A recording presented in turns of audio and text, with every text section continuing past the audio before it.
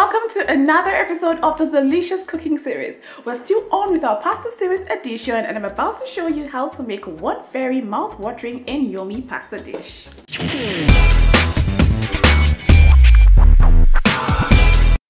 So today I'm going to show you how to make vegetable fried pasta. You know how you have vegetable fried rice? Now I'm switching up things up by using pasta instead of the rice. Do you get the drift? Introduce you to the ingredients. For this recipe, you need 200 grams of macaroni, 2 boneless chicken breasts, 2 eggs, 2 medium-sized carrots finely diced, half a cup of sweet corn, 1 medium-sized green bell pepper, 1 medium-sized red bell pepper, a cup of chopped spring onions, 3 scotch bonnet peppers, also known as atarodo, 1 medium-sized onion bulb, 2 garlic cloves, 2 cooking spoons of vegetable oil, half a teaspoon of curry powder, a quarter teaspoon of thyme, a quarter teaspoon of rosemary, half a teaspoon of chili powder, 2 chicken seasoning cubes, 1 cup of pasta water and some salt to taste. Okay, so before we go right into the cooking process, if you haven't subscribed to this channel yet, what are you waiting for? Go right ahead and hit the subscribe button below.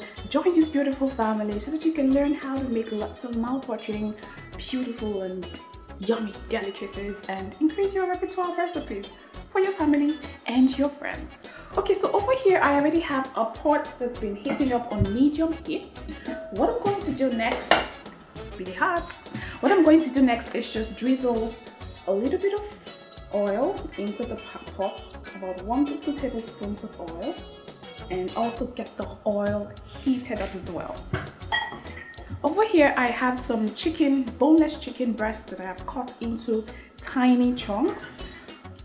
Let's just give the oil a little bit of time. I'm just gonna saute this in a little bit of oil for about one to two minutes or until the chicken loses its pinkness.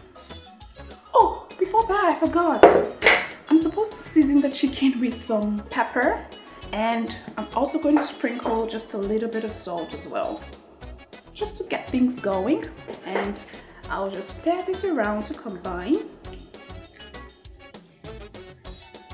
I always like the bite, the chicken bites when I'm having this dish or any dish whatsoever.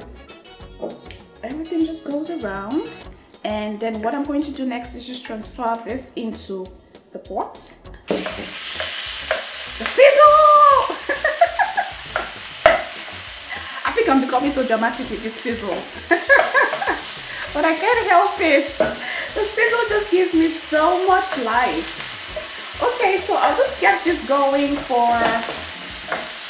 about one or two minutes until the breast, the chicken breast loses, loses its pinkness.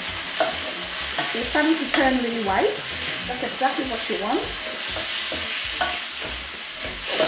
Keep stirring this around.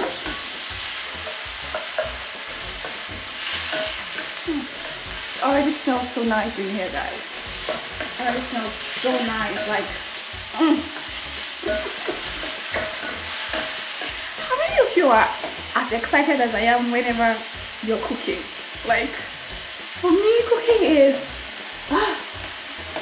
something of joy. Like, I don't know, I can't, I can't help myself. Even when I'm not in front of the camera, I realize that when I'm cooking off the camera, or away from the camera, I still have that joy. Like there's this vibe I get like, just makes me so happy.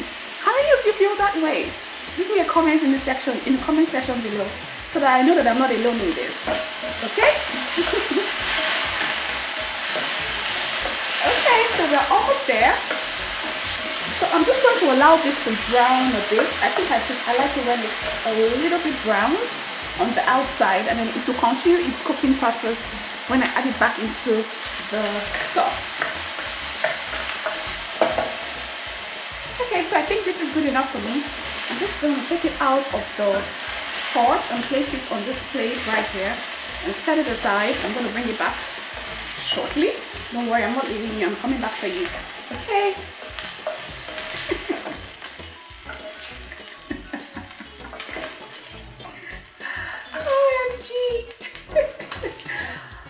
The sizzle sound is over. It was making so much noise. Okay, in the same pot, you can see all of the flavor at the bottom of the pot. I'm gonna wake it up right now with this oil. In the same pot, I'm just gonna drizzle another tablespoon, or sorry, two tablespoons of oil. You can use whatever kind of oil you like. You can use canola oil or vegetable oil or olive oil. In this case, I'm using some vegetable oil. And in this oil, I'm going to add some chopped onions. I'm using red onions for this. Give this a quick stir.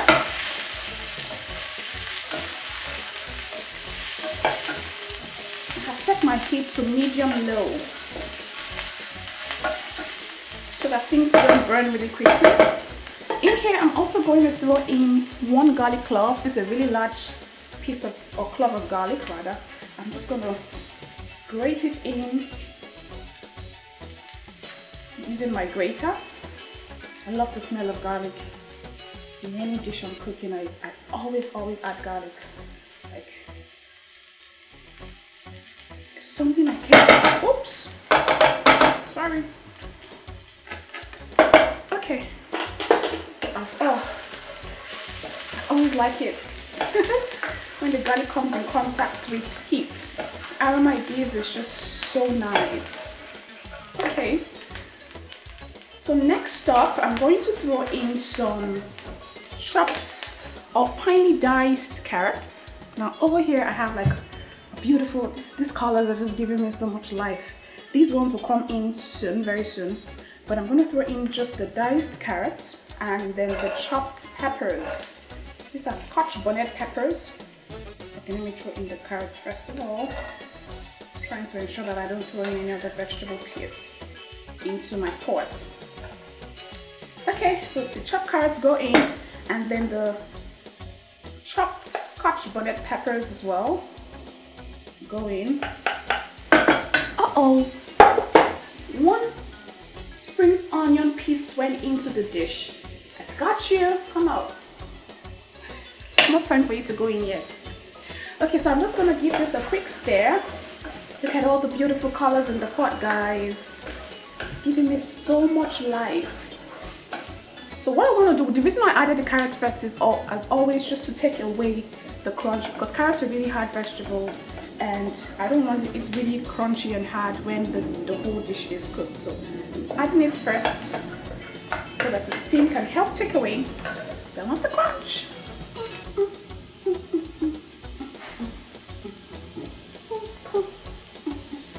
So let's just leave this for one minute or two minutes And show you what to do next. Okay, so what I'm going to do next is just bring back the chicken pieces. Woo!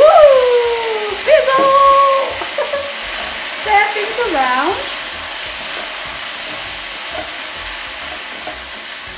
And I'm going to move all of the stuff, the contents of the pot to one side because I want to scramble some eggs. Over here I have two eggs and I'm just going to break open and I'll just give it a quick whisk and just transfer everything and then just crumble it up real fast. Now this is totally optional but I always like the egg bits in my fried rice so I'm using it so, okay, the eggs are almost all scrambled now. In fact, they're all scrambled now. That was really fast, right? so I'm just going to mix everything with the content of the pot. And what I'm going to do next is bring in the macaroni. Now I'm using some macaroni for this. Now my macaroni is really tiny, like it's in really tiny bits. Now these are the smaller ones, they're, they're, they're they have the bigger ones but I chose the smaller ones just because it looks um, really close it, it looks like rice so the macaroni and I cooked this in some chicken stock and I also added some curry powder to it and a little bit of salt. Obviously when you're cooking your pasta you have to add salt. So I cooked this in chicken stock and some curry powder and that's why it has this yellowish color. So it always gives it that fried fried pasta look. So everything is just going to go right into the pot. And I didn't cook this completely now, usually you cook your pasta till it's al dente, but I didn't cook this till it was al dente. I cooked it for about three to four minutes, so it's still a little bit hard because I'm going to add a little bit of water into it to help cook the, to help finish up the um, cooking process. So I'm just going to give this a stir, just to combine. It's looking like fried rice, right? that's the whole idea guys that's the whole idea okay I think my carrots have disappeared like I'm wondering where all the carrots I put I think I, I'm using too much macaroni but that's okay I think other vegetables will complement will help complement the look in here I'm also going to throw in some seasoning cubes I'm using some chicken seasoning just to give it um, more flavor and taste. Of course, I'm using some curry powder. And I'm also going to throw in some thyme. Here I have some thyme and rosemary. I love the smell of rosemary in my dish. And of course, I'm using some chili powder for some heat. Everything just goes good. It's gonna go in. And what else do I have here to add? Some salt as well. Two sprinkles will do just fine. This dish is yum, like yum. and okay, in here I have, this is the water, or rather this is the liquid that I use to cook the pasta. Now, I told you that I used some chicken stock to cook my pasta. That's why it's looking this way. So this is the, the, the liquid that I used to cook the pasta. And I'm just gonna throw in just a little bit, about a cup. Remember I told you that the pasta, the macaroni is not totally cooked. So I need a little more liquid to cook it through. So I'm just going to stir this around. And ah, this already looks so good, guys. So good. Afterwards, I'm just going to cover this with the lid and allow it to cook for another two to three or four minutes until all the flavors, the ingredients have gone into the macaroni and the macaroni is al dente. And I'll come back and show you what to do next. Can you hear the sizzle, guys? I don't like a messy pot. Oh Lord, look at how yummy this dish looks. My pasta is perfectly cooked now. And the aroma in the kitchen is fantabulous. okay, so I'm just gonna quickly add all of my vegetables. I have green bell pepper here, red bell pepper, I have some spring onions, and I have some sweet corn as well. So I'm gonna start with the sweet corn, just to give it some life and also a pop of color. Now notice that I'm adding the vegetables um, at the end, just because I really don't want them to lose their vibrant color and of course their crunch and then their freshness. So I'm just going to stir this around. Look at that guys, look at that. This is one yummy pot of fried, vegetable fried pasta. I think I'm gonna add more vegetables. All of this can go in, more sweet corn. But try as much as possible not to allow the vegetables overcrowd or overshadow the main star of the dish, which is the macaroni, okay? Oh Lord, aroma is just so beautiful. just look, I'm not going to stir this too much. Okay, so guys, that's how easy it was to make the dish. I'm just going to give this a quick taste as always, just so that I give you a hint of how nice this dish tastes. So just a little bit into my fork. I'm gonna blow. You guys can still hear the sizzle, right? The heat is off already. Oh but I can still hear that sizzle sound and I love it. Love, love, love, love it. Blow, blow, blow. Oh gosh, I love, I love all the colors that I'm seeing right here. Mm.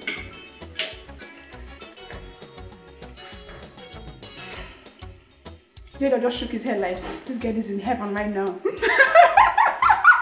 like seriously? The dish is nice, pasta is perfectly cooked.